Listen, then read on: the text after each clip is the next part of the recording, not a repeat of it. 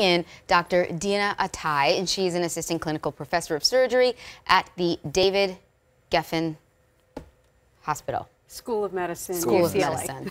So Sorry.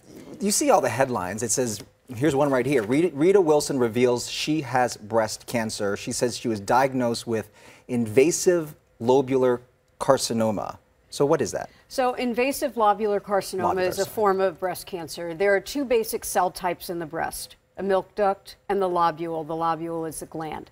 About 15% of all invasive cancers are lobular. Mm-hmm. So it's just one of the common types of breast cancer. So she said that she tested for this marker, which is the LCIS marker, lobular carcinoma in situ. In situ. In situ. So in situ means that the abnormal cells are just confined within the lobule. There's also something called ductal carcinoma in situ. The cells are confined.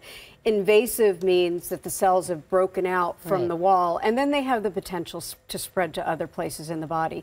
LCIS or lobular carcinoma in situ, even though it has carcinoma in the name, is not technically a cancer, but it tells us that you're at higher risk for eventually developing a cancer in the future. So what do you make of the choice then in this situation of for her to have this double mastectomy? So, invasive lobular cancer is not a worse cancer. It has a similar prognosis or overall outcome to invasive ductal, but it's a sneakier cancer. It can be harder to detect on mammogram and ultrasound and MRI, and it more often will go into both breasts. Mm-hmm. So, it is not unreasonable to have a bilateral mastectomy with this, but it's not necessarily the right choice for everyone.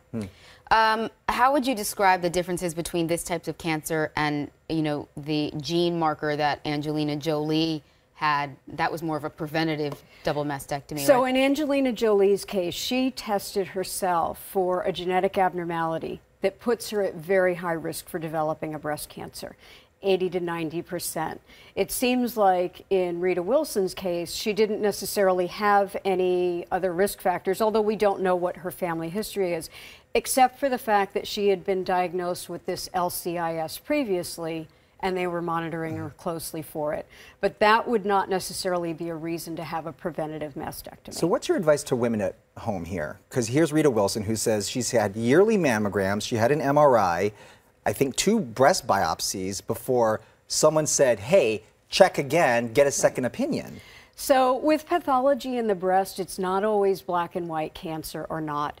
And there is a whole gray area this carcinoma in situ and something called atypical hyperplasia.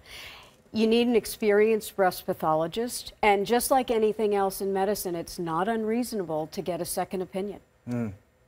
Gosh, it's just, Good you know, she trusted her first doctor and you would think that that would be a final how would you know? Yeah. test, right? Yeah. Very scary. Okay, thanks so much, doctor. Dr.